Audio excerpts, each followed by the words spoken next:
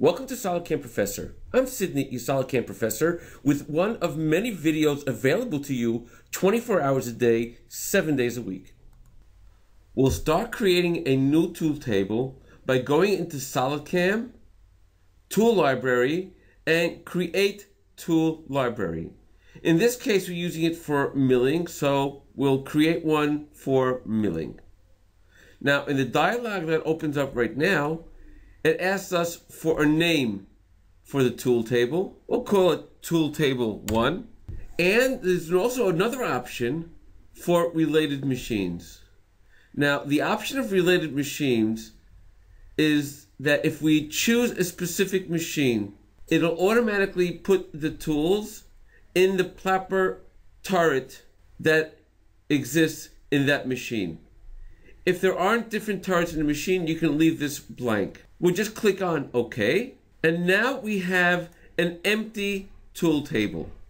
Now, to create a new tool in the tool table, we'll go to the icon on the bottom where it says Add Milling Tool.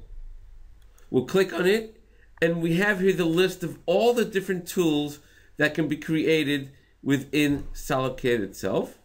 And I'll choose for this particular case an end mill. Now, let's first take a look at the topology of the tool itself. The topology of the tool is exactly how the tool will actually look. The size, the length, the amount of flutes it has, and so on and so forth. The actual tool itself, the build of the tool.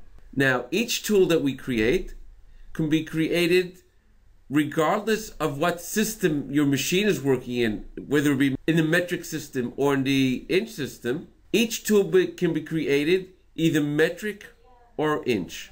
So for example, I'll choose the option of millimeters and I'll create a tool that's of the diameter of 16 millimeters. Now note, the moment I go to arbor diameter, you'll see that the arbor automatically turns to 16 as well. Obviously, if we have a different arbor diameter, I can change this. Now also note that as I'm going along in this field over here, if we take a look at the diagram on the right hand side, you can see that each area as its initials shown over here, AD, as shown over here, the arbor diameter, is actually highlighted.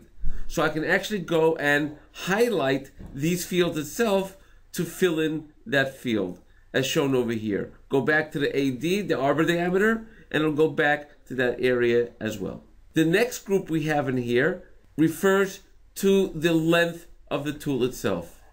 The length of the tool can also be done separately either in metric or in inch.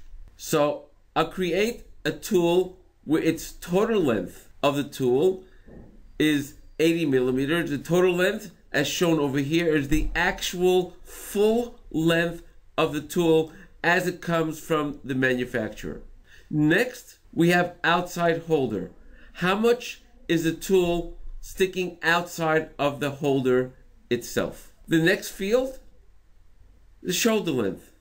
As shown over here, if there is a shoulder on it, what's the actual length of the shoulder itself. And last, as far as the length goes, is the cutting length. The cutting length is the actual cutting length of the flutes themselves. Now note that the cutting length or any of these lengths over here cannot be larger than the value that's above it. For example, if I were to put here cutting length of 31 millimeters and go to the next field on top, shoulder length. Note on the bottom, it gives me a note that the cutting length cannot be greater than the shoulder length. So it must be less than the shoulder length or equal to. If I put 30 over there, then this note will disappear. The same thing with outside holder. If the outside holder is less than the shoulder length, I'll say 29, You'll note I'll get another message saying that the shoulder length cannot be greater than outside the holder, and so on and so forth for all of these fields as well. So I'll put this back at say uh, 45, and here we have our lengths. Now we have on the bottom the number of flutes. How many flutes do we have in the tool? So let's say this is a tool that has three flutes. I'll put in a value of three. Now, let's go to the top at the moment and let's look at these fields over here. The first we have here the number. What is the actual number of that tool corresponding to the position that it will be inside the turret on the machine? Over here, we have the description describing what that tool actually is. Now, this is an optional field. You do not have to put anything in there if you don't want to.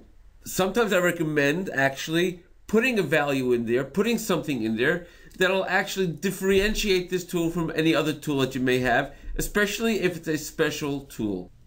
For more videos on SolidCam Professor, please go to our website, www.solidcam.com, and look for the tab called SolidCam Professor. Thank you for joining us on SolidCam Professor. Take care and have a nice day.